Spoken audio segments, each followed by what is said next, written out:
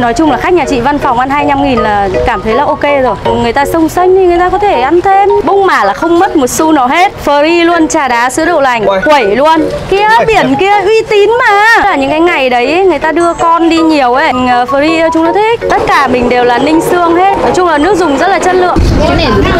Không mất tiền. Sao cho nhiều Không biết có lấy tiền không? Nhiều thịt vãi luôn.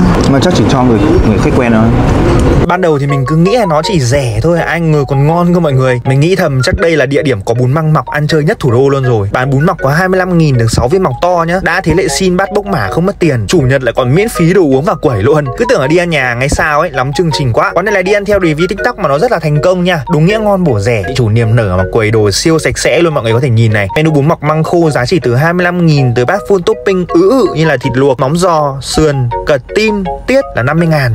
Các loại topping đều rất là tươi ngon, Khách gọi tới đâu mới thái tới đấy. Đặc biệt là mọc nhá, Đỉnh luôn, Nặn rất là to và nhìn trực tiếp đã mắt lắm. Mọi người có thể chấm cùng nước chấm xì dầu hay là mắm gừng rất là ổn. Mình gọi thêm cả bún trộn nhá. Chị mới sáng tạo ra viên mọc khổng lồ này. Có hẳn viên trứng muối to đùng bên trong dành cho anh em đạo thịt. Trộn khá là ok đấy. Mọi người có thể xin thêm nước trộn ăn cho đậm đà. Ăn cùng sẽ có hành phi vàng óng luôn. Cho thêm tí măng ngâm nữa vào là hết bài. Ngoài ra này, quán chị còn bán thêm cả nước ép nữa. Giá loanh quanh 15-20 nghìn thôi. Có một nước giò má ấy, Rất là thanh mát hơn mùa hè luôn. Nói chung để mà tìm được quán đúng nghĩa ngon bổ rẻ như này, giữa thủ đô là cũng hơi bị khó đấy. Và đây là quán Linh Nấm nhá. Địa chỉ mình để ở trên màn hình. Mọi người cứ đi thẳng vào ngõ 29 Lạc Trung ấy. Vào thẳng bên trong là kiểu gì cũng sẽ thấy nhá.